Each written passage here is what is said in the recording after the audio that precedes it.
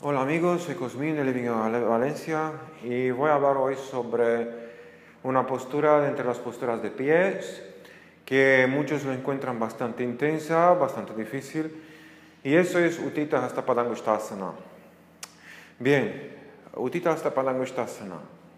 Pierna adelante, cogiendo el dedo, bajando sobre la pierna, inhala arriba, pierna lateral, después adelante, exhalando, bajando sobre la pierna y después manteniendo cinco respiraciones con pierna recta.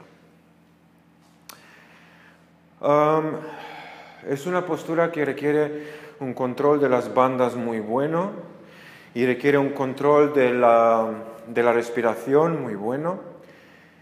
Y para hacer el trabajo más fácil aquí, hay que pensar que esa postura es muy semejante con las posturas que vienen de la familia del triángulo. ¿no? La postura de las piernas en el triángulo es la misma como aquí. Pues si será de hacer esa postura al suelo, será más o menos esa, ¿no? Y la variación lateral de esa postura a eso es más o menos como el triángulo. Entonces, son más o menos las mismas reglas. Solo que en lugar de tener el suelo abajo, pues tenemos el suelo en algún eh, plano diagonal, decimos así. Entonces, inhalando, cogiendo el dedo gordo, aquí la pierna empuja hacia adelante. Imagina que quieres estirar un suelo entre los pies. Haz la misma cosa que hacías al suelo. Después la cadera va atrás, pero la pierna empuja adelante, contra fuerzas entre los dos, ¿no? Después, proyectando por la pierna, la gravedad, pero al mismo tiempo tope la cabeza arriba al techo.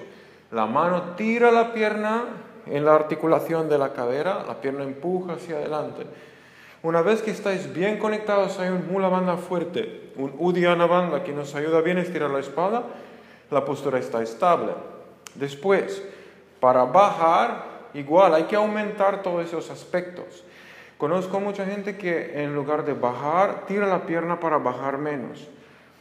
Es más fácil, la verdad, así si uno tiene la capacidad en las caderas de tirar la pierna más arriba. Si no es posible, hay que tomar una banda fuerte. Imagina Paschimottanasana. Misma conciencia, extiende bien la espalda, como en Paschimottanasana, y mantén lo que se puede. En el plan lateral, Imagina Trikonasana, estira la histeria entre los pies. La histeria está inexistente en ese plano, pero el espacio está ahí. Estira el espacio entre los dos pies. Tira con la mano, mueve el hombro abajo, empuja con la pierna, pero tira al mismo tiempo con la mano. Empuja con otra pierna abajo, tope la cabeza arriba y relaja la cara. Y después, la última variación de esa postura, cuando la pierna está adelante, cadera atrás, pierna adelante. Imagina de nuevo Trikonasana, extiende la pierna. Udiana, mula banda, punta con la pierna, mueve la cadera atrás y mantén ahí. Los que practican artes marciales, por ejemplo, me acuerdo cuando he practicado boxeo tailandés, era un golpe que se hacía con la pierna, donde no tenías que golpear como, ah, como cuando pegas un fútbol, pero el movimiento era más o menos así. Entonces es como mover la cadera atrás, mismo tiempo que estira la pierna hacia adelante. Y la fuerza venía de este contrafuerza que aparece en la pierna cuando haces eso. Es igual en esa postura. La cadera va atrás, pero pierna va hacia adelante. ¿Y cómo movéis la energía? Adelante o atrás. Con bandas. Mula banda para conectar con la parte baja del cuerpo y para enraizar, para conectar con la tierra. Udiana banda para moverse por arriba, por adelante o por donde queráis. Uddiyana Banda para mover la pierna hacia adelante, Mula Banda para enraizar. El Drishti se utiliza para mover la energía. El Drishti lo utilizáis para mover la energía donde queréis.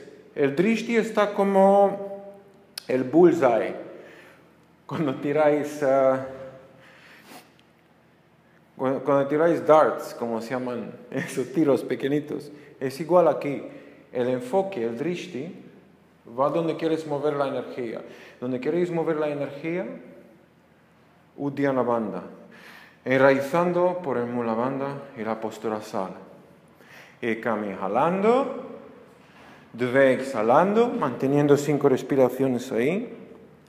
Trini inhalando. Chatvari exhalando, manteniendo cinco respiraciones ahí. Pancha inhalando. Shat exhalando. Sabda inhalando, manteniendo cinco respiraciones ahí. Exhalando. Gracias.